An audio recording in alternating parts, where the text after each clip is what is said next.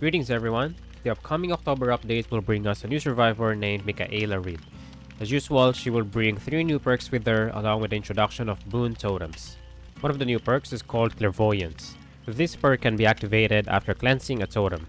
While empty-handed, press and hold the active ability button to see the auras of exit gate switches, generators, hooks, and chests within a 64 meter range.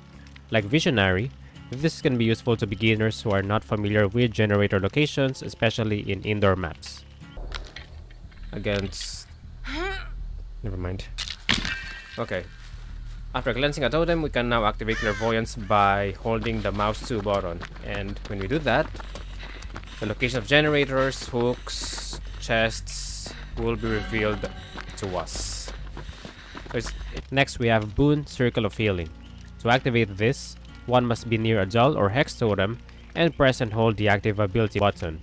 The totem will be blessed while emitting soft chimes within a 28 meter range. And survivors within the range gain a 100% healing speed bonus and are able to heal themselves without a medkit.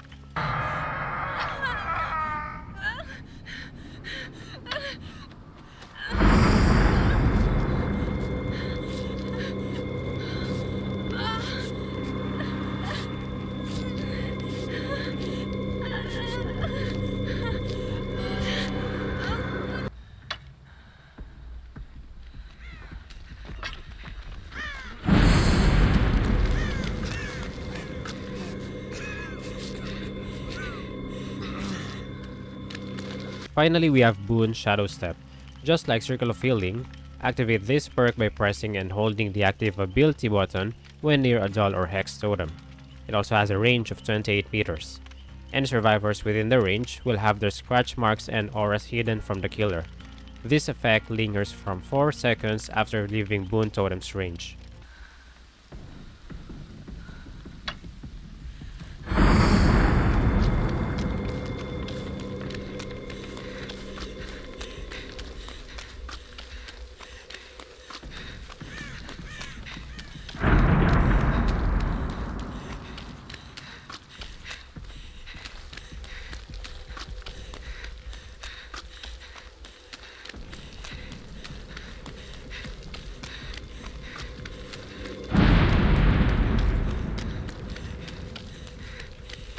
Take note that when you have more than one boon perk equipped, you only need to bless one totem for all of them to activate.